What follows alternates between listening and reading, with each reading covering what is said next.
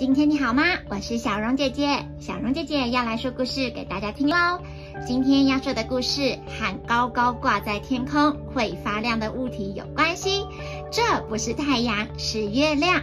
这本书叫做《月光男孩》，文图史班欧森，翻译管佳琪，格林文化出版。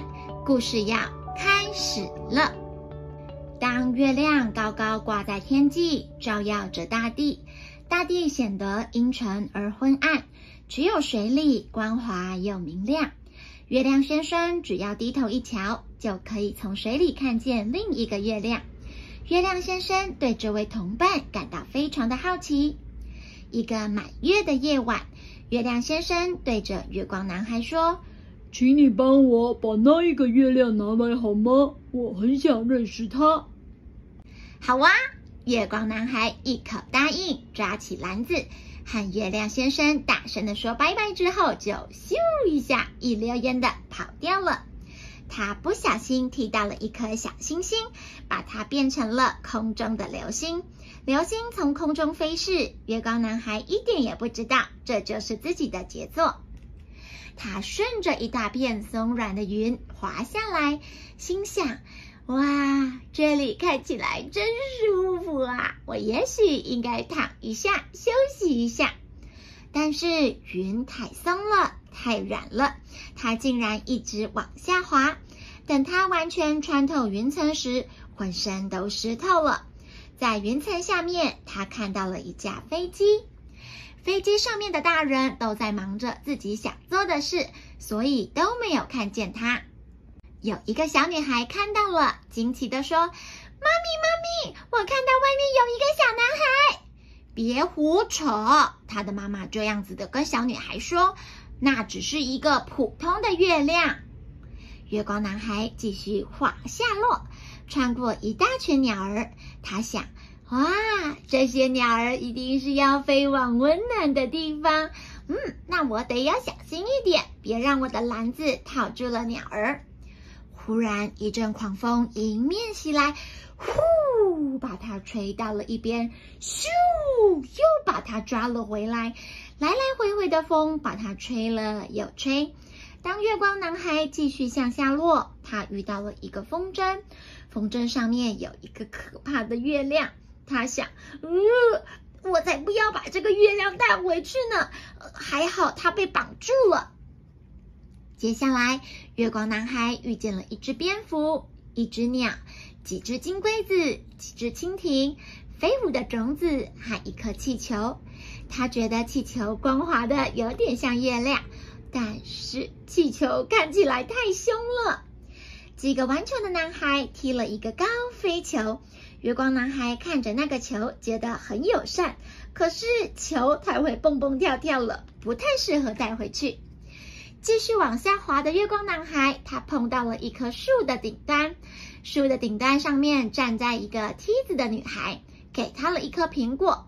那月光男孩也礼尚往来了，撒了一些金色的小月亮在女孩的头发上，看起来美极了。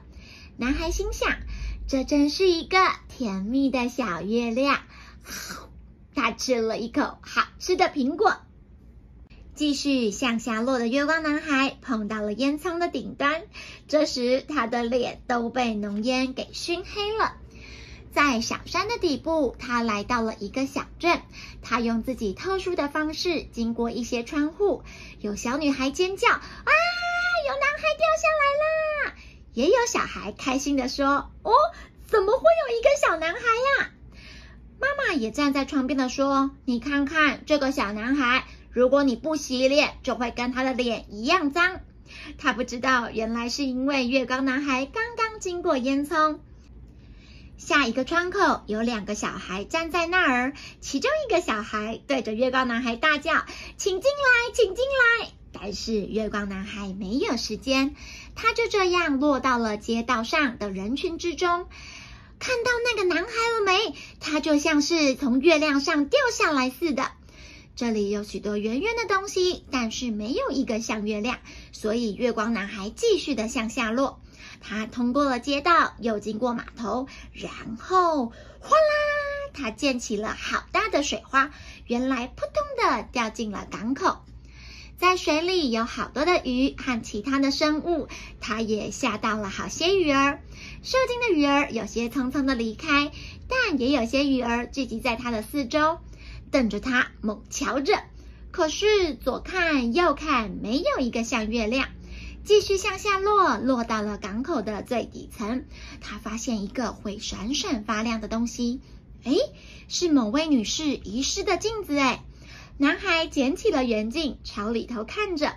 哇，这是我看过最棒的月亮了！我要把它带回家。他把小月亮放进篮子里，急急地飞起来。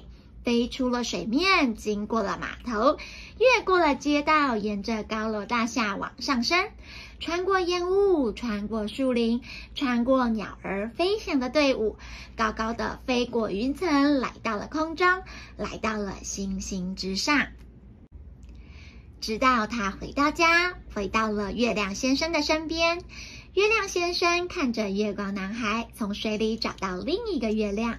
他也觉得这是他所看过最棒的月亮了。他多帅又多和气呀！